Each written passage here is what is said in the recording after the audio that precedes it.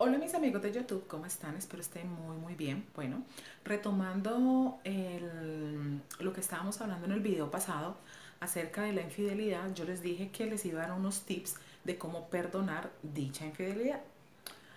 Hay un solo tip y ese tip está aquí, dentro de tu corazón. Eres tú quien decide si vas a perdonar o no. Eres tú quien decide si esa persona vale la pena que tú la perdones o no la perdones. Mira, ese perdón no está en los comentarios que haga la gente, porque muchas personas no van a estar de acuerdo, muchas personas opinan, dicen, y muchas veces lo que hacen es abrirnos más la herida, y es como echarnos sal y limón allí.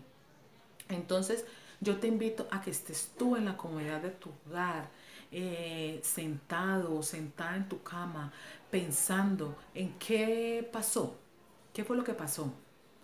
Porque déjame decirte una cosa, entre el 90 y el 95% de los casos de infidelidad es por pasión, es por cama, no es por nada más.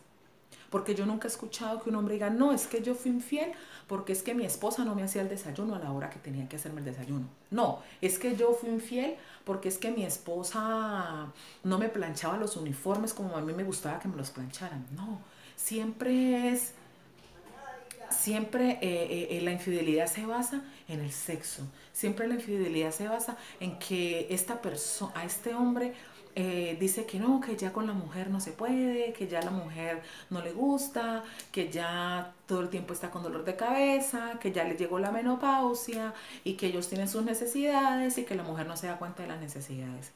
Ey, eso es un error. Eso es un error y es un error muy grave. Porque eso que tú vas a salir a la calle a buscar esa pasión, búscala en tu esposa, búscala en tu esposo. Eso que tú vas a salir a la calle, eh, de pronto a contraer una enfermedad eh, venérea. Busca a esa otra persona en tu casa, en lo que tienes en tu casa, porque recuerda que fuiste tú quien lo eligió, fuiste tú quien decidiste meterte con esa persona, ¿sí? Eh, en la calle, ¿qué te van a brindar? Pasión, cama, no te van a brindar nada más, solamente eso.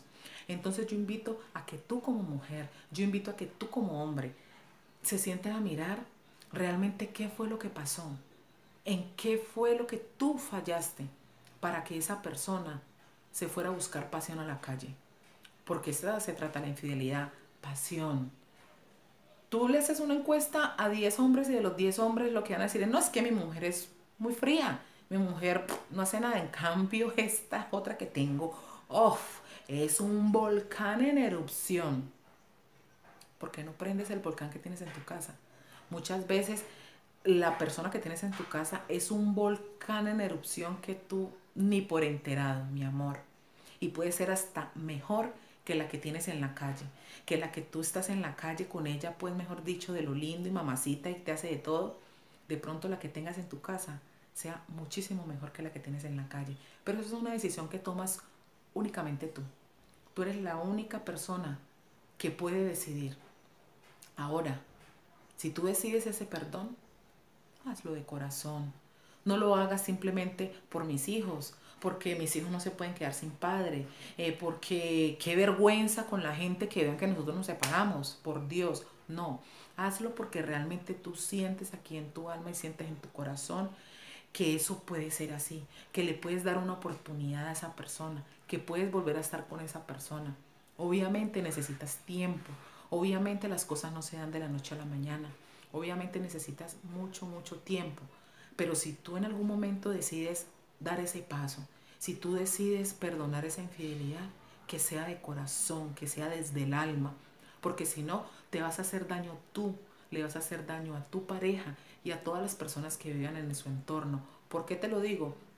Porque si van a estar en una reunión familiar y se da el comentario, porque en todas las reuniones familiares se vuelve a dar el tema, se vuelve a dar el comentario, por alguna manera de la infidelidad empiezan, sí, claro, así como otros, así como unos que yo conozco por ahí que son, no lo hagas.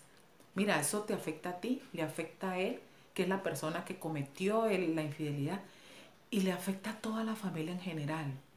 Entonces, si tú crees que vas a estar haciendo eso todo el tiempo, si tú crees que para ti que no vas a poder superarlo, pues simplemente no lo hagas.